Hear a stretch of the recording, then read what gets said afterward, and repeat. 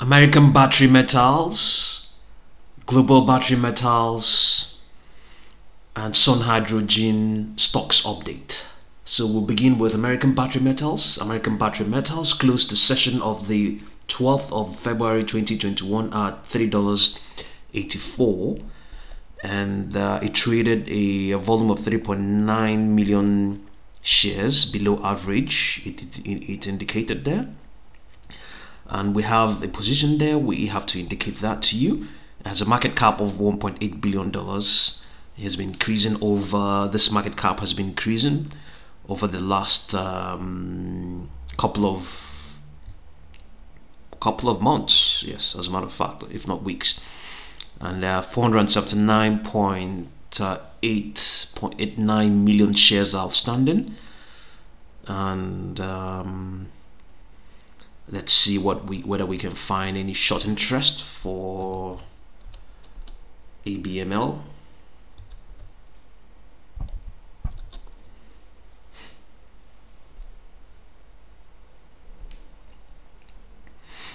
so we have a short interest increase of 333% it's currently at uh, 3.7 million shares. Relative to the entire float it's um, what fraction is that?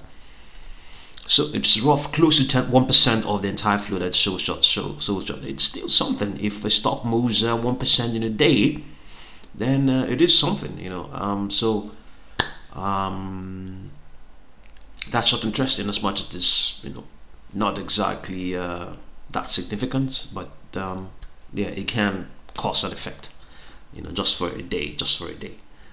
And um, so technically it appears to be correcting within a longer term bullish trend there is no doubt about that. Correcting okay um, longer this is the bullish trend that's 50 that's the 200 day trend line this oh it's upward looking. So is it correcting? Um, it's at three dollars ninety three that's it closed at three dollars eighty four and we have this high of um, 408 so 408 mm, 10% of that could, could that be correcting? Um, okay well it's called correction correcting but maybe I don't think it has it has now left that correction mode. And um, but um, yes what we're doing what the, what we're getting here says it is correcting uh, within a longer term bullish trend line although its MACD is presently below the signal line shares remain 613.9% above an upward sloping 200 day moving average it is outperforming the S&P 500 index Momentum for American battery metals as measured by 14 period slow stochastic oscillator is waning. Okay, we can see this price sort of change is indicating that it is actually in a negative, negative 5.8%. This means that investors are less aggressive in their recent purchases and may even be taking profits in positions but at lower prices. That is likely what is going on. The on-balance volume indicator has given uh, is shows that uh, long longer term accumulation has given way to near term selling pressure by traders. Yes, it seems that is uh, most certainly the case as well. Okay, and we can see it is no longer. It's still very much in the um, overbought um, um, spectrum, but uh, not in the absolute overbought territory. So uh, yes, some momentum has uh, has lost some momentum. Has been moving sideways of late since um, since the 2nd of February. So we are talking about uh, close to um, two weeks now or thereabout um, which may not be exactly be up to um, may not exactly be up to 14 trading sessions but it has been moving sideways um, yes and um, the last time I it probably did something like that was um,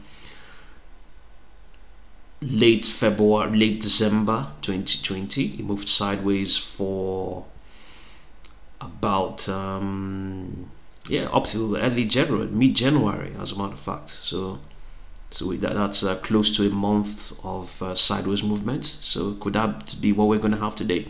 I'm sorry, this time around. No, it doesn't necessarily follow. And the good thing is that it has the price in the, in that time it has moved sideways. Given that it also yeah in, in, in the time it has moved sideways from the second of February, yes, the 10-day trend line has um, caught up with it. So the trend 10-day trend line is indicating a price of $3.83 and it closed at $3.84. So yes, you know, um, it's cooling off and that's exactly what we we all want. Know, if you want to get into the stock, you want it to cool off a bit, you know, and then um, other market participants are equally looking at all of these things. So um, yeah, if you want to jump in and um, if you think if you feel if you feel it has cooled off a bit, you know, um, well, you could you equally wait for it to cool a bit further, you know. But um, for market or so for certain market participants, it is a buying opportunity. So um, you decide if whether you're going to jump in, you know. And as usual, if you're going to jump in, be careful. Not a lot of money. Um, just invest what you're going to, what you can afford to lose. Okay, so we'll move on to um, global battery metals. Global battery metals uh, closed that session of the the 12th of February 2021 at uh, 0.908 dollars a loss of 1.71% and a volume of 757,600 uh, shares, which is uh, below average. And um, we have it that it has a market cap of 53.3 million dollars, 46.349 million shares outstanding. Okay, let's see whether we can get a short squeeze, short interest on uh, global battery metals okay it's uh, the short interest increased by 2240 standing at uh, 318,200 and um, relative to what its share float what it is what its float is yes it also indicates that it's just like a global battery battery metals close to 1% but not up to 1% as well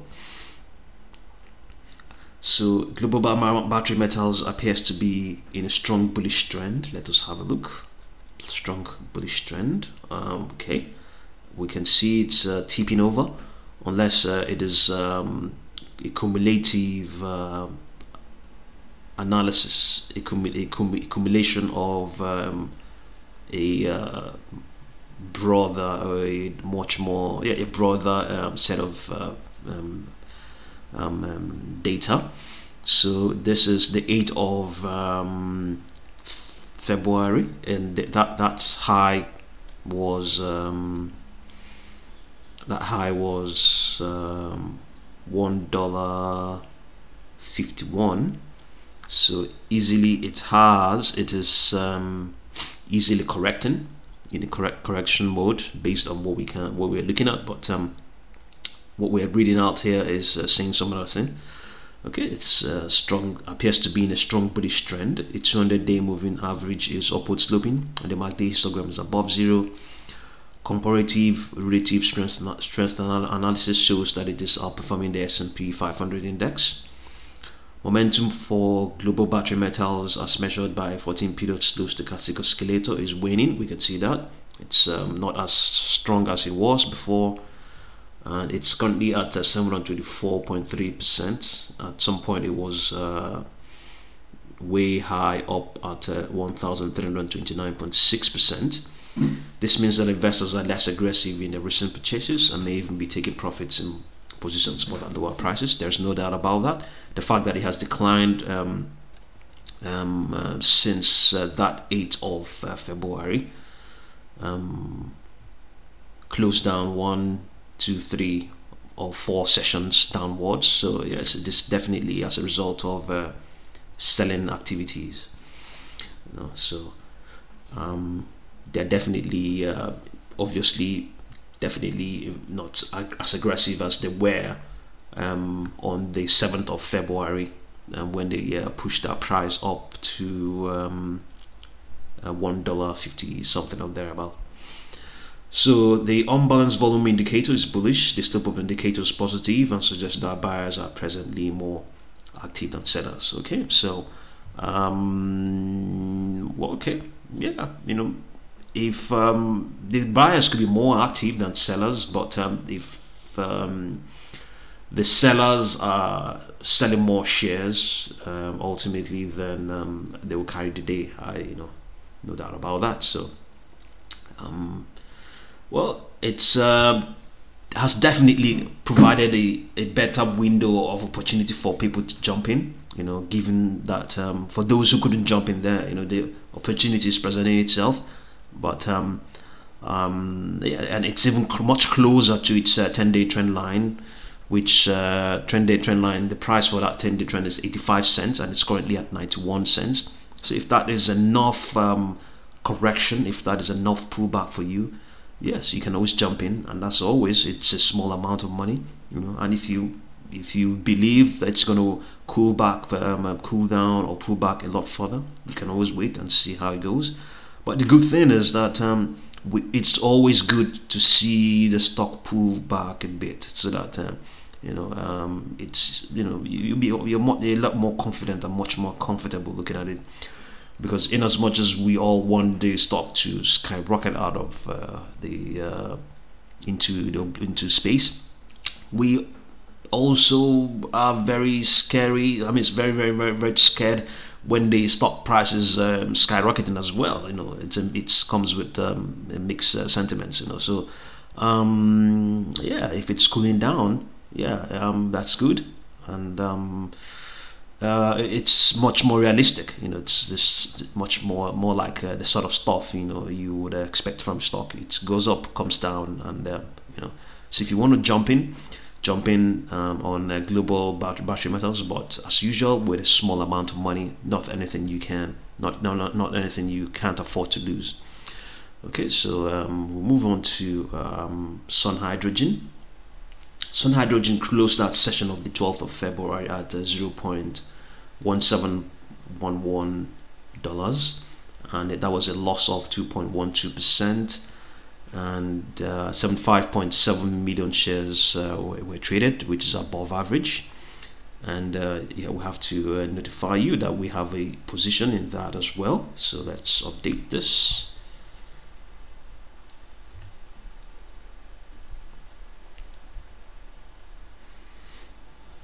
So we have a position in sun hydrogen. So um, it has a market cap of uh, 517.2 million dollars. 2.845 million billion shares are outstanding. Quite a, a hefty um, float. So um, let's see if we can find the short interest on uh, Sun Hydrogen.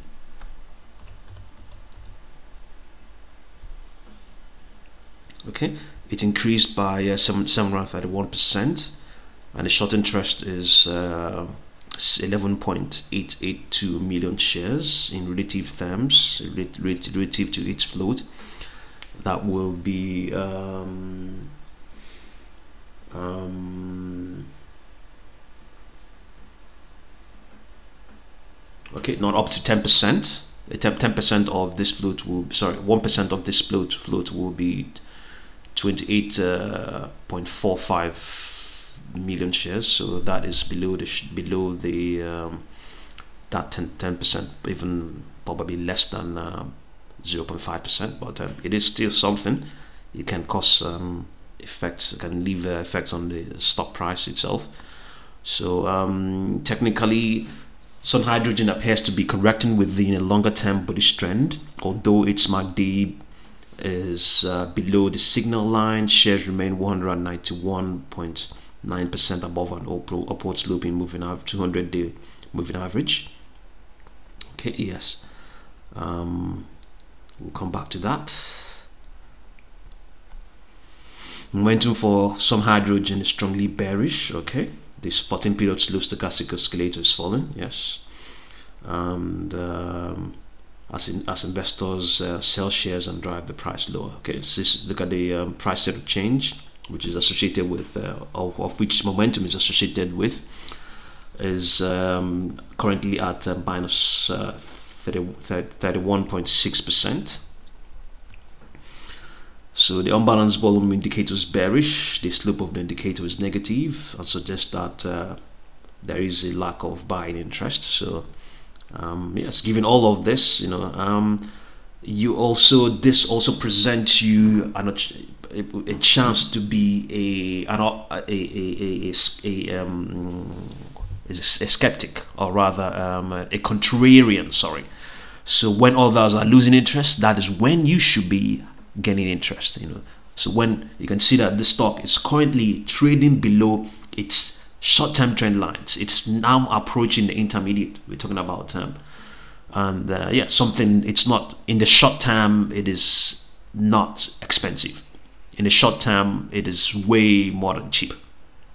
Going by what its uh, short-term trend lines are saying, the short-term trend, the price for each short-term trend line at uh, the 10 day trend line price is indicating a price of uh, $0.21 the, the 20 day is indicating a price of $0.23 and it's at $0.17 so it's now approaching its uh, 50 day trend line which is at uh, $0.15 so while interest is being lost in the stock you know it's it's um, not bad not a bad idea to gain interest because you know it is you know they have been there pushing up the price. They're taking their money out you know so it is it might be now the time for you to jump in. It's trading at 17 cents you know jump in with a small amount of money not a lot of money you know.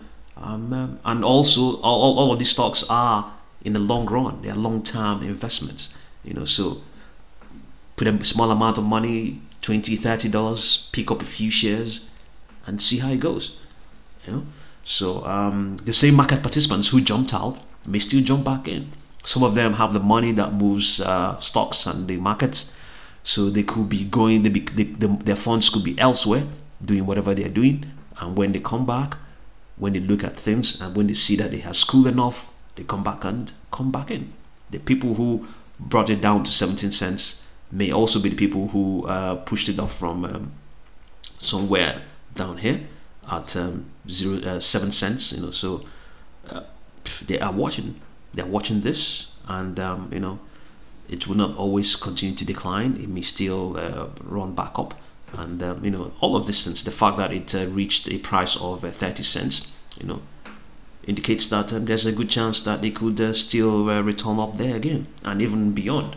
You know, sometimes when stocks pull back, they tend to even um, surpass their their previous uh, all-time records. You know, so um, as always, if you're going to invest, it it's, it's, it's with a small amount of money, and you know, and nothing, not not anything you can't afford to lose. Okay, so if you're new to this channel, subscribe, like, and share. If you're already a subscriber, thank you very very much for pushing our subscriber count uh, past 1,000. And uh, but we also noticed that uh, over the last week we had more than 10,000 unique viewers. And if all these unique viewers uh, subscribed, we would have a subscriber account that is at best up to 12,000. So thank you very much and uh, subscribe. Thank you.